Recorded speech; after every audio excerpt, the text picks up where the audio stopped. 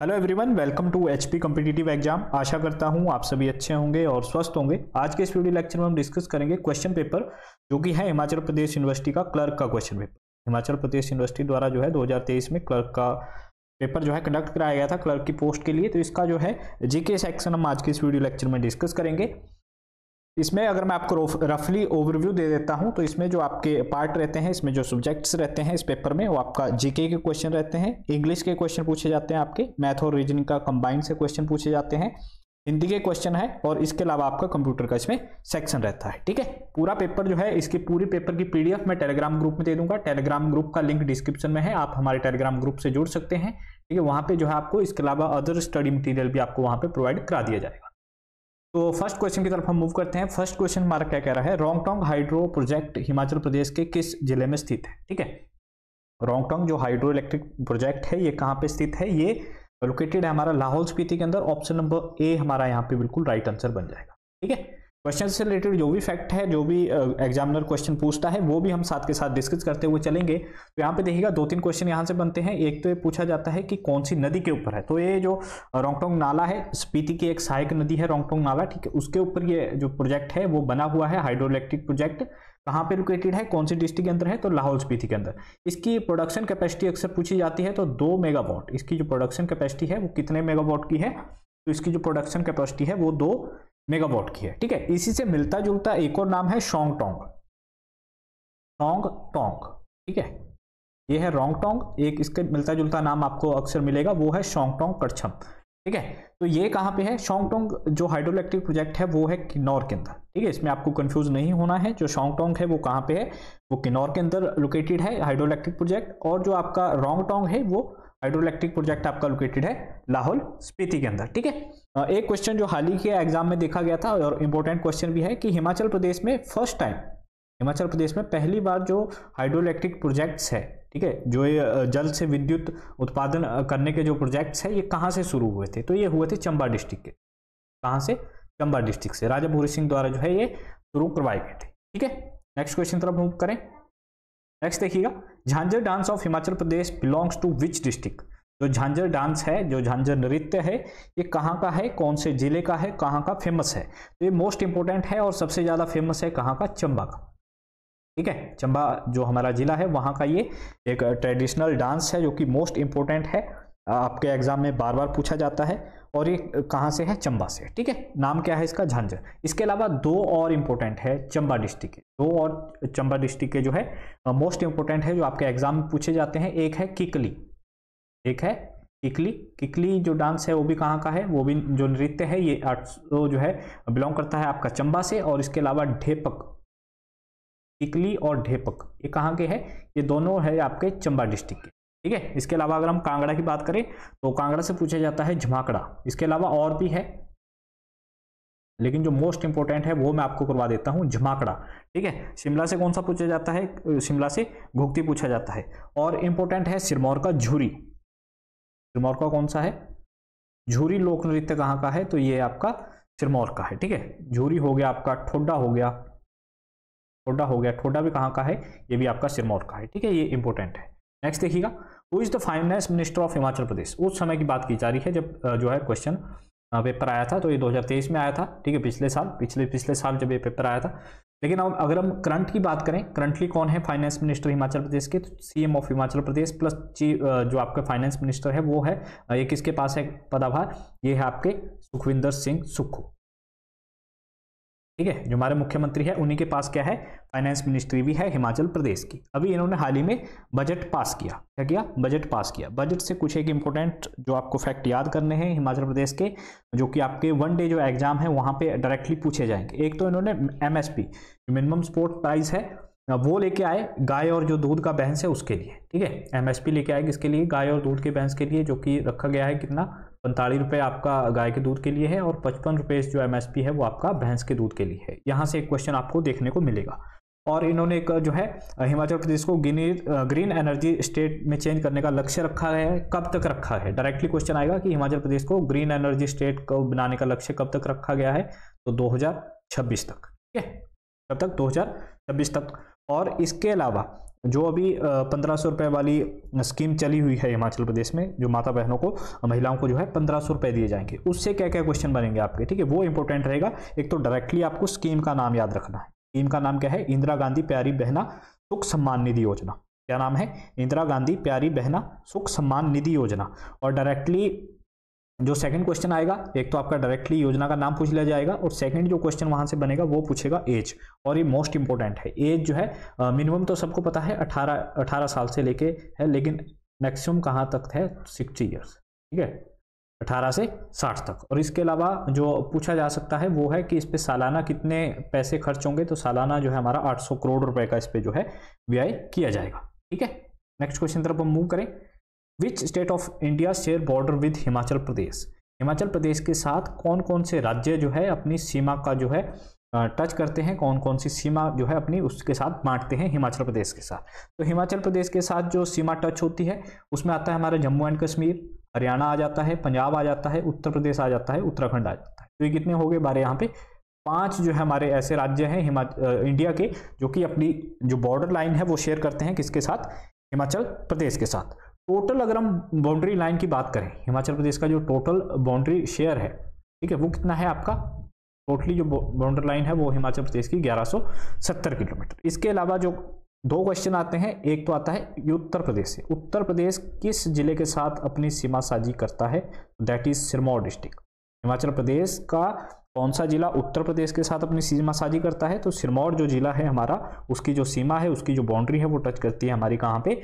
उत्तर प्रदेश के साथ। और इसके अलावा जो मोस्ट इंपोर्टेंट आता है कि जो सर्वाधिक जिलों के साथ अपनी सीमा साझा करता है वो है पंजाब। हिमाचल प्रदेश के पाँच ऐसे ज़िले हैं जिनकी सीमा साझी होती है किसके साथ? पंजाब डिस्ट्रिक्ट के साथ। सॉरी पंजाब स्टेट के साथ, ठीक है? फाइव डिस्ट्रिक्ट्स हैं हिमाचल प्रदेश की जिनकी सीमा पंजाब के साथ लगती है सबसे ज़्यादा। नेक्स्ट देखिए name the state flower of Himachal Pradesh तो बेसिक क्वेश्चन है। हिमाचल प्रदेश का जो आपका स्टेट uh, फ्लावर है that is rhododendron option number हमारे यहाँ पे कौन सा हो जाएगा? ऑप्शन नंबर डी हमारे यहाँ पे हो जाएगा बुरांस है ना? नेक्स्ट क्वेश्चन तरफ़ हम मूव करें। नेक्स्ट है who was the first governor of Himachal Pradesh Himachal Pradesh के पहले गवर्नर कौन थे? अगर मैं इसको पूछूँ कि हिमाचल प्रदेश के पहले गवर्नर कब बने थे? तो 1971 ठीक है? आपको पता है गवर्नर कहाँ का होता है? गवर्नर होता है जहाँ पे राज्य होता है। तो हिमाचल प्रदेश राज्य कब बना था? राज्य बना था हिमाचल प्रदेश 25 जनवरी 1971 को।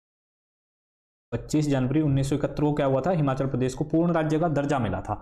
उसी समय जब कोई राज्य बन जाता है, ठीक है, अगर केंद्र शासित प्रदेश है, वहाँ पे राष्ट्रपति द्वारा जो है, वहाँ पे लेफ्टिनेंट गवर्नर या फिर कोई अदर हायर जो है, वहाँ पे अपॉइंट किया जाता है। तो अगर हम बात करें गवर्नर की, गवर्नर ऑफ़ हिमाचल प्रदेश तो हिमाचल प्रदेश का पहला गवर्नर कब बना था? तो 1971 में बना था। कौन थे?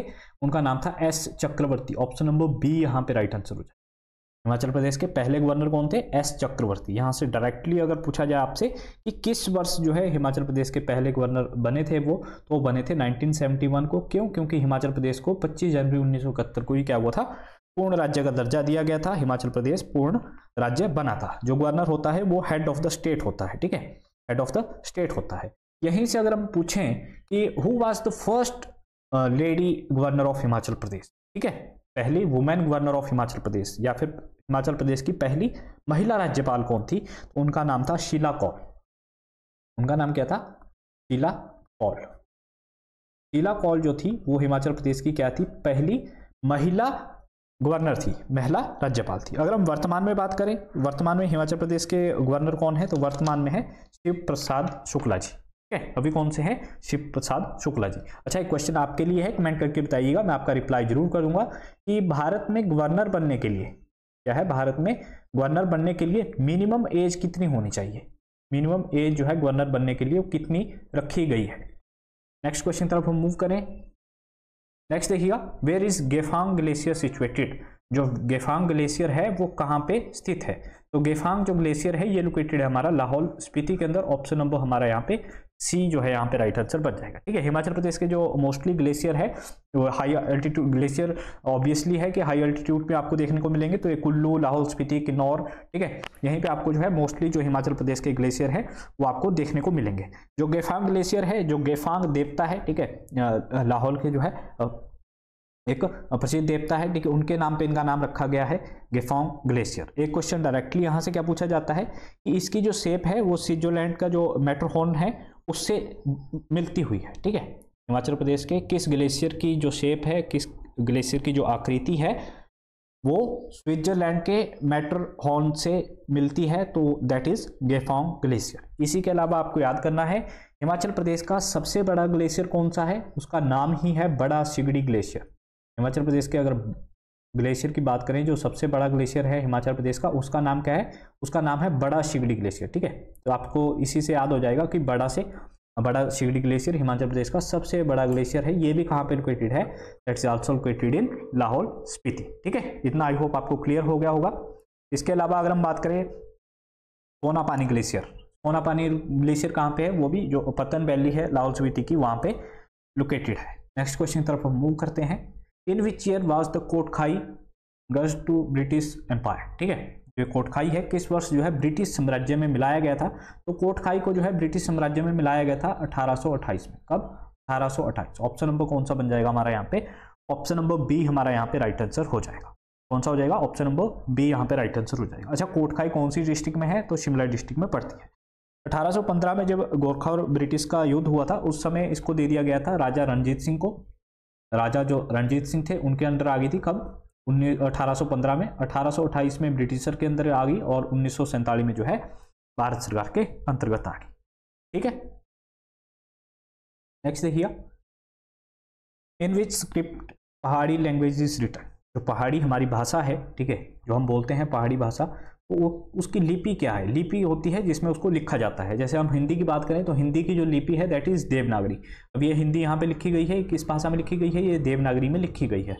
इसके अलावा और जो इंपॉर्टेंट पूछी जाती है इंग्लिश की जो लिपि है दैट इज़ रोमन और जो मोस्ट इंपॉर्टेंट है, वो है पंजाबी की, जिसको अक्सर पूछा जाता है, वो है गुरमुखी ठीक है? पंजाबी की जो लिपि है, वो है गुरमुखी तो पहाड़ी जो लैंग्वेज है, जो एक्चुअल स्क्रिप्ट है दैट इज़ टांकरी कौन सी लिपि है वो? ऑप्शन नंबर सी हमारा यहाँ पे राइट आंसर हो जाएगा। ठीक है, अभी आप गूगल कीजिएगा, टांकरी लिपि। टांकरी लिपि के जो अक्षर्स है, ठीक है, जो अल्फ़ाबेट है, वो आपको कहीं ना कहीं मेल खाते हुए दिखेंगे गुरुमुखी से। ठीक है, अभी जो हम पहाड़ी लिखते हैं, वो हम देवनागरी में ही पहाड़ी लिख देते हैं, लेकिन जो हमारी एक्चुअल पहाड़ी लिपि है दैट इज़ टांकरी लिपि, वो जो है, ना तो हमें पढ़ाई जाती है स्कूलों में, ठीक है? तो ये थोड़ी विलुप्त हो रही है। क्योंकि हमें भी नहीं पता इसके बारे में। इसके जो अक्षर होंगे, आप देखिएगा इसको गूगल करके, इसके जो अक्षर है वो गुरुमुखी, जैसे पंजाबी के अक्षर है, उससे मिलते जुलते हैं, ठीक है? जो पहले हमारे बनिया होते थे पहाड़ी, ठीक है? जो हिसाब किताब करते थे दुकानों का, वो इस लिपि का यूज़ करते थे, ठीक है? उसके बाद जो है पहाड़ी कुछ ग्रंथ इसमें लिखे गए। तो पहाड़ी की जो लिपि है, जो एक्चुअल लिपि है दैट इज़ टांकरी लिपि, ठीक है? नेक्स्ट क्वेश्चन की तरफ़ हम मूव करें। नेक्स्ट है, किस व्यक्ति ने अठारह में शिमला को गर्मियों की राजधानी है वो घोषित किया था? तो Lord sorry John Lawrence. Option number कौन सा बन जाएगा हमारा यहाँ पे? ऑप्शन नंबर बी हमारा यहाँ पे राइट आंसर हो जाएगा। इस अठारह सौ चौंसठ में समर कैपिटल बना था शिमला। अठारह सौ चौंसठ से लेके उन्नीस सौ सैंतालीस तक। कब तक? उन्नीस सौ सैंतालीस तक जो है, हमारा समर समर कैपिटल रहा। किसके द्वारा जो है ये की गई थी? तो जॉन लॉरेंस द्वारा जो है समर कैपिटल इसको डिक्लेयर किया गया था, इसको राजधानी बना दिया गया था। इसके अलावा और जो है शिमला क्या रहा था? अठारह सौ इकहत्तर से उन्नीस सौ सैंतालीस तक। आपको याद करना है, अठारह सौ इकहत्तर से लेके उन्नीस सौ सैंतालीस तक जो है हमारा शिमला, जो पंजाब स्टेट थी, जो पंजाब गवर्नमेंट थी, उसकी समर जो कार्यालय था, गर्मियों का जो कार्यालय था, वो कहाँ पे था? शिमला में, पंजाब गवर्नमेंट का। ठीक है? नेक्स्ट देखिए, भारतीय रिज़र्व बैंक के वर्तमान गवर्नर कौन से जो हमारा आरबीआई है ठीक है? सभी बैंकों का जो बैंक है that is RBI Reserve Bank of India इसका जो हेड है दैट इज़ शक्तिकांत दास कौन है? Shaktikanta Das option number B हमारा यहाँ पे राइट आंसर हो जाए इससे दो तीन क्वेश्चन बनते हैं। एक तो आरबीआई की स्थापना कब हुई थी? तो 1935 एक अप्रैल 1935 को जो है आरबीआई आया था। ठीक है? एक डायरेक्टली क्वेश्चन बनता है कि फ़र्स्ट गवर्नर कौन थे? आरबीआई के तो ऑसबर्न स्मिथ ओ लिख रहा हूँ। ऑसबर्न स्मिथ जो थे फ़र्स्ट जो क्या थे? इसके आरबीआई के गवर्नर थे। और जो शक्तिकांत दास है, वो वर्तमान में है। इससे पहले किसको थे? यानी कि शक्तिकांत दास ने किसको रिप्लेस किया? तो उनका नाम था उर्जित पटेल। अच्छा इसके अलावा ऑसबर्न स्मिथ जो थे, वो फ़र्स्ट थे। लेकिन एक और क्वेश्चन क्या आता है? इसी से मिलता जुलता।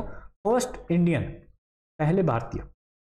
पहले भारतीय जो कि आरबीआई के गवर्नर बने। That is C D Deshmukh that is C D Deshmukh ये जो थे, पहले भारतीय थे जो आरबीआई के गवर्नर बने। कब बना था ये? आरबीआई आपका एक अप्रैल 1935 को। एक और क्वेश्चन मैं यहाँ से आपसे पूछूँगा कि आरबीआई का जो गवर्नर होता है, उसका कार्यकाल कितना होता है? उसका कार्यकाल कितना होता है? ठीक है कमेंट करके बताइएगा, मैं आपके कमेंट में ही आपका जो आंसर होगा, उसको रिप्लाई कर दूँगा। नेक्स्ट देखिएगा। Who is the ex officio chairman of NITI Aayog? NITI आयोग का जो पदन, पदेन अध्यक्ष होता है, वो कौन होता है? ठीक है, यहाँ पे लिखा हुआ है, यहाँ पे नाम दे रखे हैं, लेकिन डायरेक्टली जो क्वेश्चन आता है, वहाँ पे आ जाता है प्रधानमंत्री ठीक है, मुख्यमंत्री या फिर फाइनेंस मिनिस्टर होम मिनिस्टर तो आपको याद करना है, जो नीति आयोग होता है, उसका जो अध्यक्ष होगा, वो होगा भारत के प्रधानमंत्री। जो भी करंट टाइम में भारत के प्रधानमंत्री होंगे, वही जो है नीति आयोग के अध्यक्ष होंगे। तो अभी वर्तमान में भारत के प्रधानमंत्री नरेंद्र मोदी जी थे तो जो है यहाँ पे ऑप्शन नंबर बी हमारा यहाँ पे राइट आंसर हो जाएगा। ठीक है, नीति आयोग का जो प्रधान अध्यक्ष है, वो यहाँ पे क्या हो जाएगा? Option number B Narendra Modi. वैसे कौन है? भारत के प्रधानमंत्री नीति आयोग के अध्यक्ष होते हैं तो जो भी उस टाइम में भारत का प्रधानमंत्री होगा, बाद में चलकर जब कभी भी तो नीति आयोग का जो अध्यक्ष होगा, वो प्रधानमंत्री होगा, उनका जो भी नाम होगा, ठीक है? अभी यहाँ पे डायरेक्टली क्वेश्चन क्या पूछे जाते हैं? नीति आयोग कब आया था? या फिर डायरेक्टली जो एक और क्वेश्चन बनता है, वो बना, बनता है, नीति आयोग की फुल फॉर्म तो national institute for transforming India ठीक है? नीति आयोग की जो फुल फॉर्म है national institute for transforming India कब बना था? 2015 में आया था। नीति आयोग कब अस्तित्व में आया था? नीति आयोग 2015 में आया। किसको रिप्लेस किया इसने? इसने जो हमारा प्लानिंग कमीशन था योजना आयोग था उसको जो है इसने रिप्लेस किया प्लानिंग कमीशन ठीक है? यो, योजना आयोग के बारे में अक्सर पढ़ा होगा आपने। ठीक है? जो हमारी पंचवर्षीय योजनाएँ चलती थी। तो उस आयोग को ख़त्म कर दिया गया। उसके बाद वो पंचवर्षीय योजनाएँ बंद हो गई। उसके जो है उसको रिप्लेस करके कौन सा आयोग आया? नीति आयोग आया। ठीक है? नेक्स्ट क्वेश्चन तरफ़ मूव करें। नेक्स्ट देखिएगा। हिमाचल प्रदेश के किस ज़िले में जनसंख्या घनत्व सर्वाधिक है? यानी कि सबसे ज़्यादा जन घनत्व कहाँ पे है? पॉपुलेशन डेंसिटी कौन सी डिस्ट्रिक्ट के अंदर है? That is Hamirpur. Option number कौन सा हो जाएगा हमारा? ऑप्शन नंबर ए हमारे यहाँ पे राइट आंसर हो जाएगा। यहाँ की जो पॉपुलेशन डेंसिटी है वो है 407 सबसे कम कहाँ की है? सबसे कम है लाहौल एंड स्पीति। लाहौल एंड स्पीति की जो पॉपुलेशन डेंसिटी है वो है दो। ठीक है? अगर हम पूछें सबसे ज़्यादा जनसंख्या कहाँ पे है तो सबसे ज़्यादा जनसंख्या है कांगड़ा में। ठीक है? अभी पॉपुलेशन डेंसिटी होती क्या है? जनसंख्या घनत्व होता क्या है? आप बोलोगे, सर, आपने कहा कि सबसे ज़्यादा पॉपुलेशन कांगड़ा में है, लेकिन घनत्व की बात करते हैं तो हम कहते हैं कि हमीरपुर का जो पॉपुलेशन घनत्व है, यानी कि जो जनसंख्या घनत्व है डेंसिटी है, वो हमीरपुर की ज़्यादा है। तो इसको हम काउंट करते हैं total population total population over total area ठीक है? किसी राज्य जो भी कोई भी राज्य हो, कोई स्टेट हो, आपका कोई डिस्ट्रिक्ट हो या कोई पर्टिकुलर एरिया हो, कोई पंचायत हो, ठीक है, उसकी अगर आपको डेंसिटी निकालनी है तो उसके टोटल पॉपुलेशन कितनी है? डिवाइड बाय वहाँ का टोटल एरिया कितना है, ठीक है? मान लीजिए, कहीं की जो पॉपुलेशन है वो सौ है और एरिया है पचास किलोमीटर का तो इसकी जो पॉपुलेशन आ जाएगी, जो इसकी डेंसिटी आ जाएगी, वो आ जाएगी दो व्यक्ति प्रति वर्ग किलोमीटर, ठीक है? इसकी जो पॉपुलेशन डेंसिटी वो कितनी आ जाएगी? दो व्यक्ति प्रति वर्ग किलोमीटर। यानी हमीरपुर में जो घनत्व है वो सबसे ज़्यादा है। घनत्व का मतलब है घनापन। ठीक है, जैसे हम बाल बाल होते हैं हमारे घने, वैसे ही घनापन इसी तरीके से आप इसको याद करोगे। यहाँ पे यानी कि सबसे ज़्यादा घनी आबादी कहाँ की है? कौन सी डिस्ट्रिक्ट की है? That is Hamirpur. ठीक है, और सबसे कम कहाँ पे है? लाहौल स्पीति। नेक्स्ट क्वेश्चन तरफ़ देखें। नेक्स्ट है हमारा where is the origin of Chenab river Chenab neither कहाँ से निकलती है? बारह लाचा पास ऑप्शन नंबर कौन सा बनेगा? ऑप्शन नंबर डी हमारा यहाँ पे बन जाएगा। कौन सी डिस्ट्रिक्ट में है? कौन सी डिस्ट्रिक्ट में है? तो दैट इज़ लाहौल स्पीति। दो क्वेश्चन यहाँ से आप याद करोगे कि जो आपकी लाहौल स्पीति में ये नदी निकलती है चिनाब, ये दो नदियों का संगम है। कितनी नदियों का संगम है? दो नदियों का संगम है। एक नदी का नाम है चंद्रा नदी, ठीक है? और प्लस दूसरी नदी का नाम है भागा नदी। चंद्रा और भागा। एक साइड से चंद्रा आती है, दूसरी साइड से आपकी भागा नदी आएगी। यहाँ पे मिलेंगी that is place called as Tandi. ठीक है? इस जगह का नाम क्या है? इस जगह का नाम है तांडी। क्वेश्चन क्या आते हैं कि चंद्रा और भागा रिवर कहाँ पे मिलती है? चंद्रा और भागा जो रिवर्स है, ये मिलती है तांडी के अंदर और इसके आगे इसको बोला जाता है चिनाब। इसके आगे इसको क्या बोला जाता है? चिनाब। ठीक है? चिनाब का जो ओरिजिनल नाम था, जो पुराना नाम था, वैदिक नाम था दैट इज़ आस्किनी ये भी अक्सर एग्ज़ाम में पूछा जाता है। अच्छा नदियों से अगर हम बात करें, हिमाचल प्रदेश की पाँच मुख्य नदियाँ हैं, आप सभी को पता है। एक पूछा जाता है, हिमाचल प्रदेश की सबसे लंबी नदी कौन सी है? सबसे बड़ी नदी कौन सी है? और सबसे छोटी नदी कौन सी तो सबसे लंबी नदी की बात करें दैट इज़ सतलुज। सतलुज जो है हिमाचल प्रदेश की सबसे बड़ी लंबी नदी है। कितनी किलोमीटर बहती है हिमाचल प्रदेश में? 320 किलोमीटर। अगर हम बात करें आपकी सबसे बड़ी नदी, that is Chenab river. Chenab river Himachal Pradesh की सबसे बड़ी नदी है 122 किलोमीटर हिमाचल प्रदेश में बहती है। सबसे छोटी river, that is Yamuna river. कौन सी? यमुना। ये कितनी है? ये लगभग बाईस तेईस किलोमीटर के आसपास हिमाचल प्रदेश में बहती है। अच्छा बड़ी और लंबी, ये अक्सर कंफ्यूज करते हैं कि बड़ी नदी कौन सी है और लंबी नदी कौन सी है। ठीक है? इनका डिफरेंस क्या होता है बड़ी नदी और लंबी नदी के अंदर? तो लंबी नदी के अंदर जैसा कि इसके नाम में विख्यात है, लंबी नदी यानी कि जिसकी लेंथ जो है वो ज़्यादा है। जिसकी लेंथ ज़्यादा है दैट इज़ सतलुज रिवर 320 लेकिन बड़ी नदी का क्या मतलब है यहाँ पे? जिसमें पानी की क्षमता ज़्यादा है। पानी किस नदी में ज़्यादा है? दैट इज़ चिनाब रिवर ठीक है? चिनाब रिवर में जो है पानी ज़्यादा है, इसलिए उसको बड़ी नदी कहते हैं। लेकिन अगर हम लंबाई की तरफ़ देखें तो लंबाई में जो है हमारी सतलुज जो रिवर है, वो लंबी है। ठीक है? नेक्स्ट क्वेश्चन देखिएगा। ये अंतिम क्वेश्चन है। इसके बाद मैथ शुरू होता है। मैथ का जो है, मैं कोशिश करूँगा जल्दी इसका दूसरा पार्ट जो है आपको प्रोवाइड कराऊं। नेक्स्ट है यहाँ पे, जन विश्वास के अनुसार शतुद्र नदी। शतुद्र किसका ओल्ड नेम है? ये सतलुज नदी का। ठीक है? जो हमारी सतलुज रिवर है। उसका ओल्ड नेम है शतुद्र रिवर या शतुद्री नदी को। मानसरोवर झील से जो है, हिमाचल प्रदेश में लाने का श्रेय किसका गया है? तो ऋषि जमदाग्नि को ऑप्शन नंबर डी यहाँ पे राइट आंसर हो जाएगा। कौन सा हो जाएगा? हमारा यहाँ पे ऑप्शन नंबर डी हमारा यहाँ पे राइट आंसर हो जाए। अच्छा हिमाचल प्रदेश की सबसे बड़ी नेचुरल लेक कौन सी है? That is Renuka ji lake कहाँ पे है? लोकेटेड सिरमौर के अंदर। और मैन मेड यानी कि कृत्रिम, जो इंसान ने बनाई है, वो है गुरु गोविंद सागर झील, जो कि कहाँ पे है? बिलासपुर के अंदर। और सबसे बड़ी प्राकृतिक, जो भगवान ने बनाई है, खुद प्रकृति की बनी हुई है, वो है श्री रेणुका जी लेक कहाँ पे लोकेटेड है? सिरमौर डिस्ट्रिक्ट के अंदर। ठीक है, आज के लिए बस इतना ही। आपके अदर कोई क्वेरी है, इससे रिलेटेड कोई और डाउट है, आप कमेंट कर सकते हैं। आज के लिए बस इतना ही। Thank you for watching us have a good day